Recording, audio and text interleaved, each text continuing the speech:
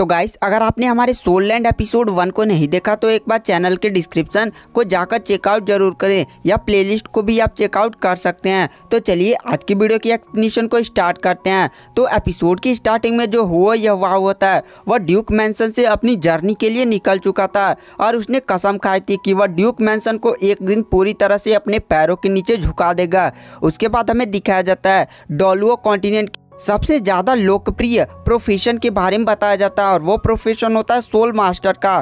पूरे Douluo continent में soul masters की रैंक को नौ भागों में डिवाइड किया गया है, जिसमें लोवेस्ट से हाई तक है, जिसमें से पहला आता है soul scholar soul master soul grand master soul elder soul ancestor soul king soul emperor soul sage soul Douluo and title Douluo और जिस बंदे की कल्टीवेशन लेवल फ़र्स्ट से लेकर टेंथ रैंक के बीच में होती है, उसे सोल स्कॉलर कहा जाता है। और जैसे जैसे उसका लेवल बढ़ता जाता है, उसकी सोल लेवल भी बढ़ता जाता है।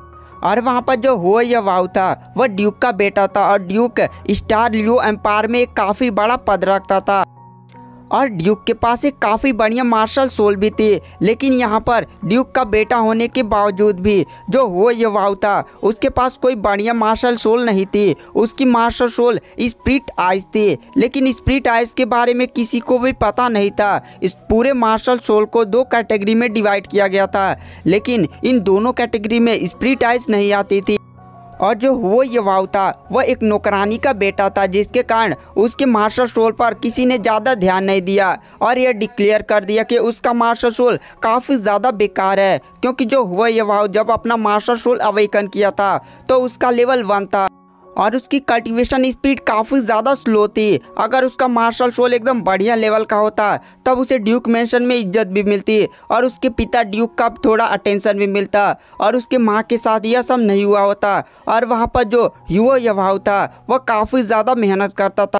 जो हुआ यवाव था। वह छः साल की उम्र में अपना मार्शल सोल अवेकन कर लिया था, लेकिन वह ग्यारह साल का हो गया था। पूरे पाँच साल बीत चुके थे, लेकिन अभी भी वह लेवल टेन पर नहीं पहुँचा था, जिसके कारण उसके, उसकी काफ़ी ज़्यादा बेज्जती होती रहती थी, क्योंकि ड्यूक मेंशन में जो सर्वेंट्स के बेटे थे, उन्होंने जब अपना मास्टर सोल अवेकन किया था तो लगभग दो या तीन साल के अंदर ही वो लोग लेवल टेन पर पहुँच जाते थे, जिसके कारण उनकी मास्टर सोल की क्वालिटी के बारे में पता चलता था।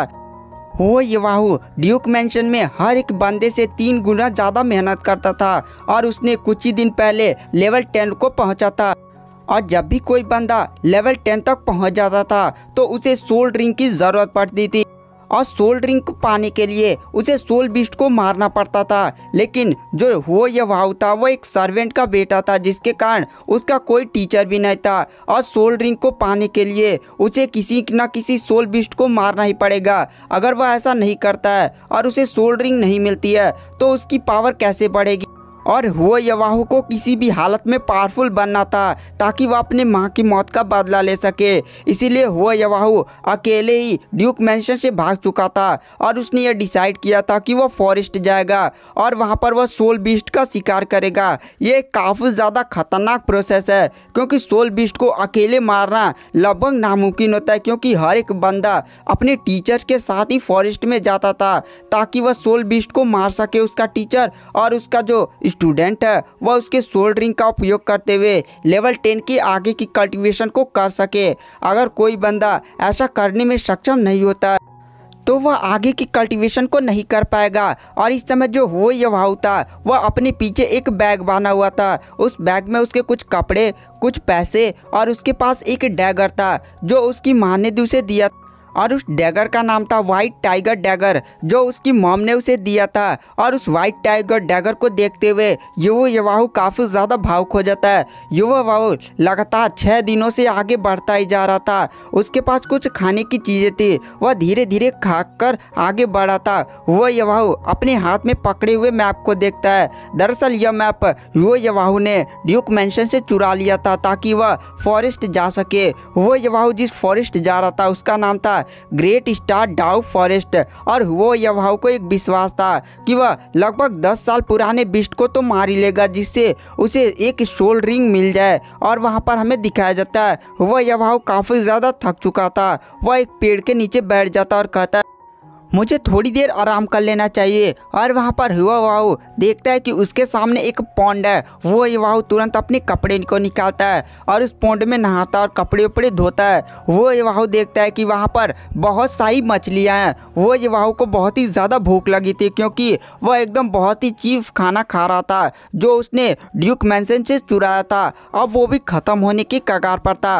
वो वाहू तुरंत अपना वाइट टाइगर डैगर निकालता है और तुरंत कहता है, चलो आज अपनी स्प्रिट आई की पावर को एक बार चेक करता हूँ और तुरंत स्प्रिट आई की पावर को चेक करते हुए वह पॉन्ड में देखता है। वह काफ़ी ज़्यादा शौक हो जाता है क्योंकि पॉन्ड में उसे हर एक चीज़ काफ़ी ज़्यादा स्लो, काफ़ी ज़्यादा क्लियर दिखाई दे रही थी। उस पॉन्ड में वह लगभग दस मछलियों को देखता है। वह उन्हें साफ़ साफ़ और उनकी मूवमेंट को इतना ज़्यादा वह स्लो देख रहा था कि जैसे उसके सामने कोई एकदम बहुत ही चीटी नियर रेंग रहा हो। वो यवाह तुरंत व्हाइट टाइगर डैगर का उपयोग करते हुए थोड़ी देर में उन सभी दस मछलियों को बहुत ही फुर्ती के साथ मार देता है। मछलियों पर उसका निशाना एक परसेंट भी चूका नहीं था क्योंकि उसे वह मछलियाँ बहुत ही ज़्यादा स्लो दिखाई दे रही थी। वो ये वाहू कहता है, चलो अब मछली को भून कर यहीं पर खाता हूँ। हुए वाहू जंगल से लकड़ियाँ लाता है और उन लकड़ियों का उपयोग करते हुए उन मछलियों को बहुत ही बढ़िया तरह से भूनने लगता है। मसाले वो छीटता है और वहाँ पर उन मछलियों की सुगंध दूर दूर तक फैलने लगती है।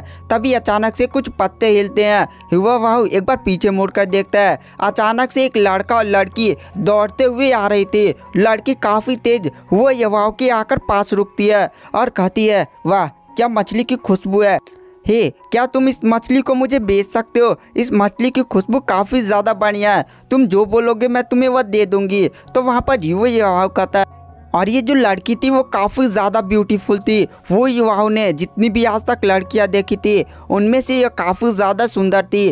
तभी वहाँ पर युवा युवाओं कहता है नहीं, मैं आपको ये मछलियाँ नहीं बेच सकता। मुझे भी भूख लगी है, मैंने भी इन मछलियों को भुना है। वैसे आप चाहें तो मैं आपको शेयर कर सकता हूँ। तो वहाँ पर वो लड़की तुरंत उन मछलियों पर टूट पड़ती है। उसके साथ जो आया हुआ लड़का होता है, वह कहता है, अरे, तुम थोड़ा धीरे धीरे खाओ ना। आखिर तुम इसकी मछलियों को ऐसे कैसे खा सकती हो? तो वहाँ पर वो वह उस लड़की को देखता है। उस लड़की ने पूरा पूरा मछली को अपने सर पर, मुँह पर फोत लिया था और वह अभी भी खाए जा रही थी। जो उस लड़की के साथ आया हुआ लड़का होता, वह कहता ब्रदर, तुम भी मछलियों पर टूट पड़ो, वरना ये भूखा लड़की सारी चीज़ें वैसे ही खा जाएगी। वहाँ पर वो जो लड़की होती है, अपने दोस्त की तरफ़ एकदम गुस्से से देखती है। तो बंदा कहता, अरे अरे, मैं मज़ाक कर रहा था।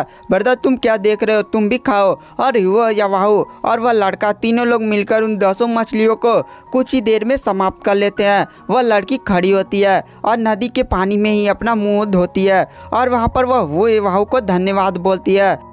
और वो लड़की, वो ये वाहू से कहती है, मेरा नाम तेंगिया है और मेरे दोस्त का नाम बेई बेई है। और तुम बताओ, तुम कहाँ जा रहे हो? एक बात बताओ, क्या तुम मेरे साथ चलोगे मेरे सेफ़ बनने के लिए? तो वहाँ पर वो ये वाहू कहता है, नहीं नहीं, मुझे काम है। तो वहाँ पर तेंग या कहती है, तुम किस तरफ़ जा रहे हो? और तुम कुछ मेरी मदद चाहिए तो बताओ। हम लोग सोल मास्टर्स हैं और हमारी रैंक भी हाई है तुमसे। तो वहाँ पर वो वाहू तुरंत मना कर देता और कहता है, मैं चलता हूँ और युवा एक तरफ़ जाने लगता है। तभी जो वो ब्यूटीफुल लड़की तैंगवा होती है, वो बेई बेई से कहती है, क्या आइडिया है? क्या हम इसे अपने सेक्ट में ज्वाइन कर लें? ये लड़का काफ़ी ज़्यादा इसके कपड़ों से गरीब भी लगता है। मेरे हिसाब से यह किसी सेक्ट से भी होगा भी नहीं, और किसी गरीब फैमिली से होगा। तो वहाँ पर बेई बे कहता, अरे मैं जानता हूँ, तुम इसे क्यों ज्वाइन कराना चाहती हो?